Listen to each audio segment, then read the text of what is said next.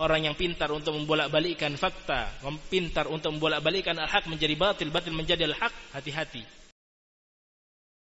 اليوم أكملت لكم دينكم وأتممت عليكم نعمتي ورضيت لكم الإسلام دينا Diajarkan untuk iktisad fi amrih.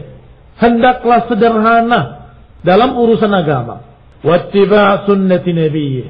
Hendaklah ikuti sunnah nabinya sallallahu alaihi wa ala alihi wasallam.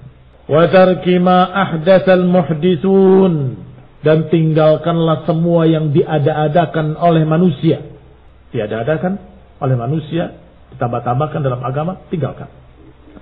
Ba'dama jarat bihi sunnatuhu setelah lewat sunnahnya sallallahu alaihi wa ala alihi wasallam.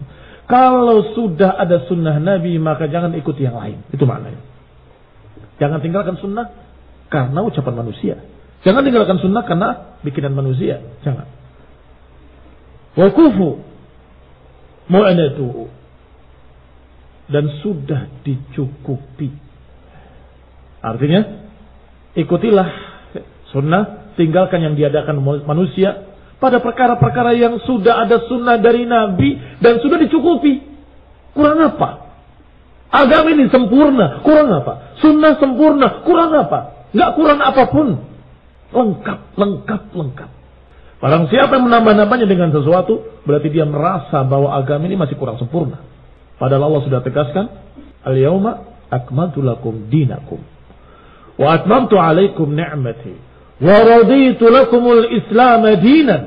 Hari ini sudah aku sempurnakan bagi kalian agama kalian. Dan aku lengkapi kenikmatanku atas kalian. Dan aku ridho Islam sebagai agama kalian. Kurang apa lagi? Kalau Allah sudah katakan al-yawma akmaltu, sudah kelengkapi. Maka tambahan apa pun adalah tuduhan bahwa agama ini belum sempurna perlu tambahan. Hati-hati. Tidak ada yang baik. Tidak ada yang baik.